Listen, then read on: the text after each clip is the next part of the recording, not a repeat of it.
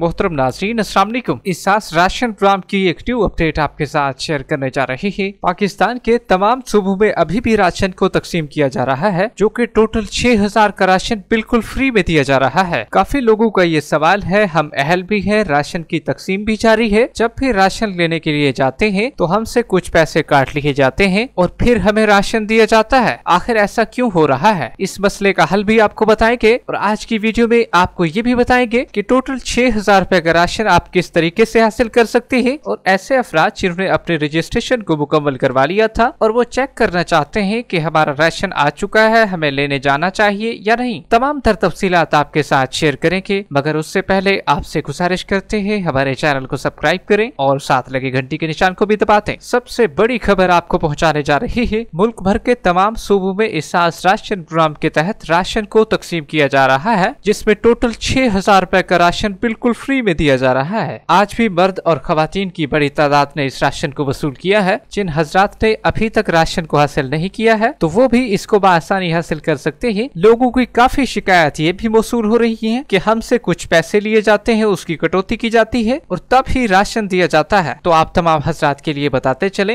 Ration दो जगहों पर तकसीम किया जा रहा है। एक वो जगह है जो हुकूमत पाकिस्तान की तरफ़ से नेशनल बैंक ऑफ़ पाकिस्तान के ताउन के साथ मुख्तलिफ़ करियाना स्टोर पर तकसीम किया जा रहा है और दूसरी जगह वो है कि जहाँ यूटिलिटी स्टोर पर लोग जा रहे हैं। तो आपको ये बात क्लियर करते चले। अगर आप चाहते हैं कि हमें बिल्कुल फ्री में राशन मिला जाए तो आपको अपने शहर में करीबी करियाना स्टोर पर जाना होगा, जो कि एहसास राशन रियायत के तौर पर रजिस्टर होती है। उनके बाहर एक एहसास राशन का बैनर भी आवेजा किया जाता है, ताकि लोग बसानी वहाँ पर पहुँच सके। अगर आप किसी दूसरी करियाना शॉप पर जाएँगे तो वहाँ पर आपको राशन फ्री नहीं मिलेगा। सिर्फ़ हुकूमत की तरफ़ से रजिस्टर दुकानों पर आपको राशन फ्री में मिलता है। जिनका ये मसला आ रहा है कटौती का तो उनको बताते चले। यूटिलिटी स्टोर पर जाने का नुकसान आपको ये होगा कि आपके पैसों से कुछ कटौती की जाएगी और फिर आपको राशन मुहैया किया जाएगा। जो लोग अपना नाम चेक करवाना चाहते हैं कि हम अहल हो चुके हैं या नहीं तो उसके दो तरीके कार है। एक तो ये है कि आप किराना स्टोर पर जाए अपना शनाख्ती कार्ड लेकर, वहाँ अहलियत भी चेक हो जाती है। अगर आपने राशन की पिछली किस्त, जो की पाँच हज़ार पर मुश्तमिल थी, उसमें से कुछ राशन भी वसूल नहीं किया है तो वो पाँच हज़ार का राशन भी आपको दिया जाएगा। और एक हज़ार रूपए का इजाफी जो इसी माह का बनता है टोटल छह हज़ार रूपए का राशन आपको दिया जाएगा। अगर आपने पाँच हज़ार का पहले राशन वसूल कर लिया था और आपके अकाउंट में कोई सब्सिडी नहीं बच रही है तो अब आपको एक हज़ार रूपए का राशन हर महीने में दिया जाएगा। अगर आप अपना शनाख्ती कार्ड नंबर राशन प्रोग्राम के तहत चेक करवाना चाहते हैं कि हमारा राशन आया हुआ है, हम अहल भी हैं या नहीं तो आप घर बैठकर इसको चेक कर सकते हैं। इसके लिए हुकूमत ने बाकायदा तौर पर एक पोर्टल बनाया हुआ है। पोर्टल के ज़रिए आप अपने राशन को बसानी चेक कर सकेंगे। अगर आप अहल करार पाते हैं तो आप भी अपने शहर के करीबी करियाना स्टोर पर जाएँ और अपने राशन को फौरी वसूल कर लें। एहसास राशन के पोर्टल का लिंक आपको वीडियो की डिस्क्रिप्शन में मिल जाएगा। आप अपने राशन को खुद घर बैठ कर चेक कर सकेंगे। वीडियो के अख्ताम पर वीडियो को लाइक करें और साथ ही हमारे चैनल को सब्सक्राइब करें। मिलते हैं एक नई अपडेट के साथ। तब तक के लिए अल्लाह हाफिज।